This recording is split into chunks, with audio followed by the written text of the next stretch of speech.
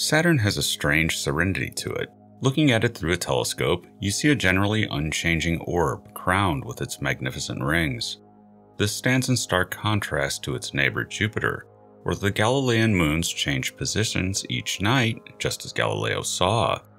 And in a large enough telescope, you can see the Great Red Spot and transient events happening in the atmosphere.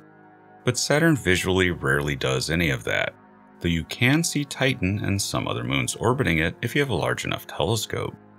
But Saturn also holds a very high long term potential for radical change. The first is with the ring system. Saturn's ring system is rather mysterious in that we don't know how they formed, and we don't know when. Estimates of the time of the formation of the rings range from a mere 10 million years ago to back to the formation of Saturn itself 4.5 billion years ago. But what we do know is that the ring system is currently disappearing. Part of the mystery of how old they are is in that they appear very young. Saturn's rings are very bright, almost entirely made of water ice. Over time, it's thought that ring systems get polluted by collecting up dust and meteorites, causing them to darken. So Saturn does not appear to have old rings. But it's hard to envision how they formed, leading to seemingly unlikely scenarios of comets or moon collisions in the recent history of the solar system. As a result, some researchers still favor an ancient ring system model. But regardless, there is the problem of ring fading, Material in the rings is in a constant state of collision and also gravitational interaction. This causes a steady rain of material to fall into Saturn, which was found to be greater than expected by the Cassini mission. Saturn's rings are now thought to have less than a hundred million years left before no evidence of them ever existing will remain. Imagine Saturn without its rings. That would look weird. It's interesting to imagine far future humans holding fundraisers to restore Saturn's ring system in a museum like atmosphere.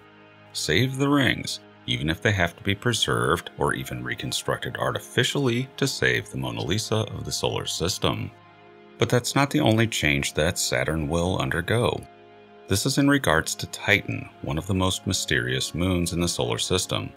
Titan is slowly moving away from Saturn.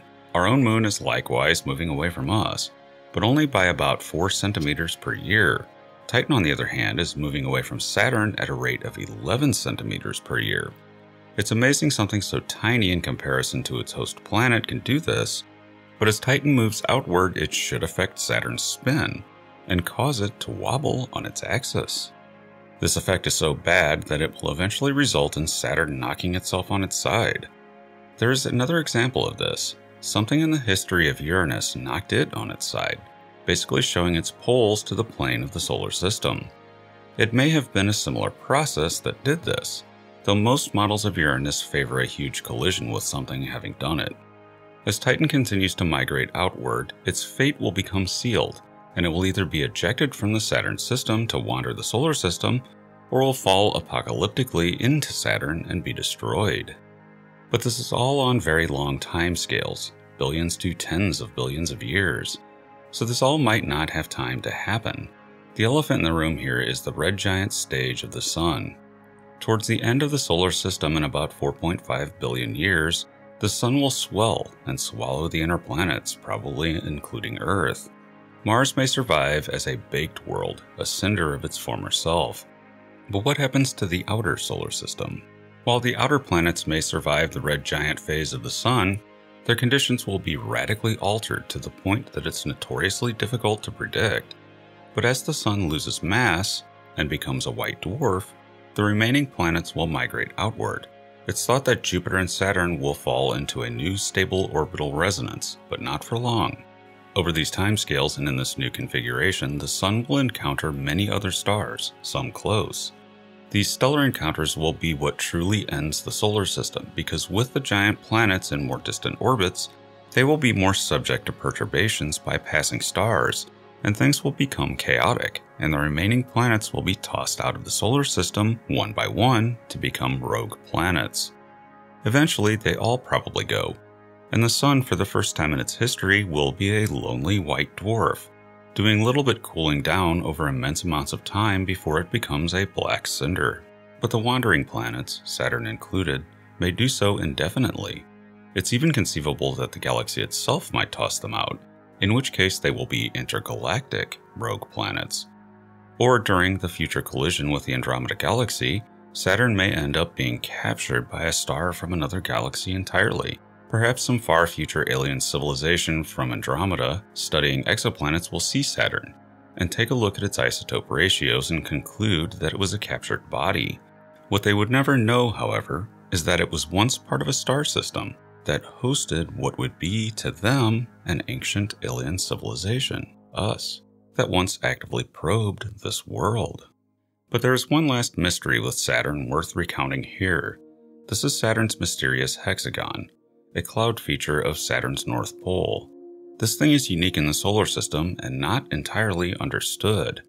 At its center is a vortex, so whatever this is seems to be a phenomenon of high winds, such as a jet stream arrangement. It also changes color. Over the last few years, it has changed from bluish to a gold color. Recent mathematical models have suggested a means of just how winds would do this, and it even predicts that it can happen on any gas giant with the right conditions of a storm surrounded by a ring of winds moving in the opposite direction.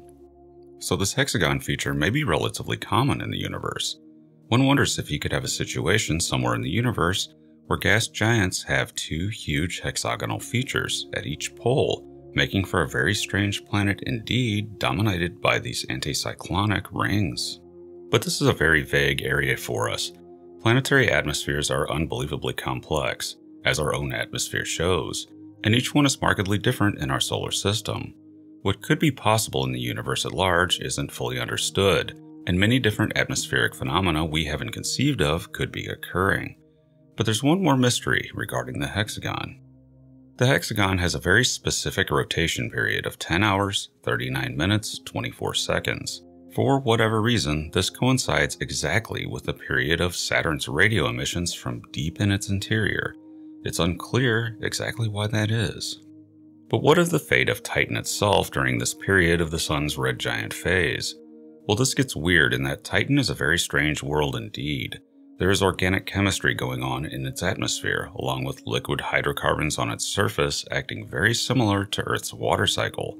This has led some to suggest that Titan could harbor some kind of low temperature life. This would be beyond alien when compared to Earth life, in that it would use a completely different solvent akin to lighter fluid instead of water and operate at much lower temperatures with much slower chemistry, life in slow motion.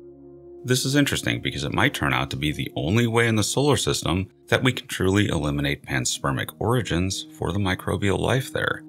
It's just too different of an environment chemically for Earth life to have adapted to it if it were deposited there. If we end up finding microbes on any other planet in the solar system, they're likely to be water based, except at Titan. While you should be able to tell if they are related by their genetics and even chirality, that could be open to debate, as most things in science are.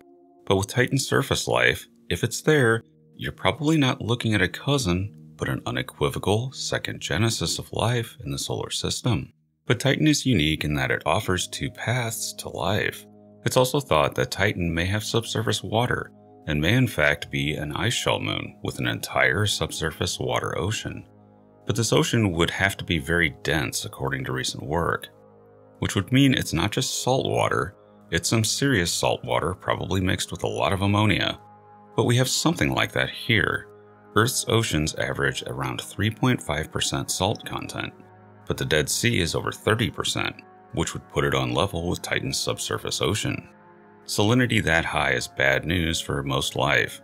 The Dead Sea is basically dead, it's just too salty for most things, but it's not completely devoid of life, there are microbes adapted to it, though they are very limited. It's not known whether life could arise in such salty conditions, but in limited form here on Earth, it can at least survive within it. And then there is the far future of Titan. If it remains in the solar system, it may end up in a position where the sun's red giant phase could warm it and convert it into a water world. During this process, the sun's output of ultraviolet light will drop, which means that Titan's hazy atmosphere will clear and begin to experience a greenhouse warming effect on its surface. This state of affairs won't last long, only a few hundred million years. But given that life on Earth arose at absolutely the earliest moment it could, then this offers Titan a chance for life to arise.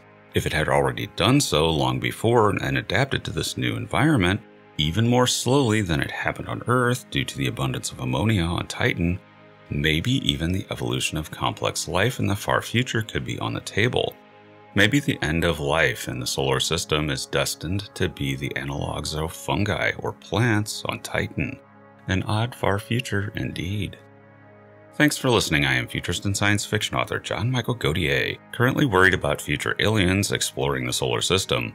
They'd probably never know Earth existed during the red giant phase of the Sun, and probably wouldn't know about us, and just found Titan as a world of horrific carnivorous mushrooms orbiting a red giant that's past its expiration date.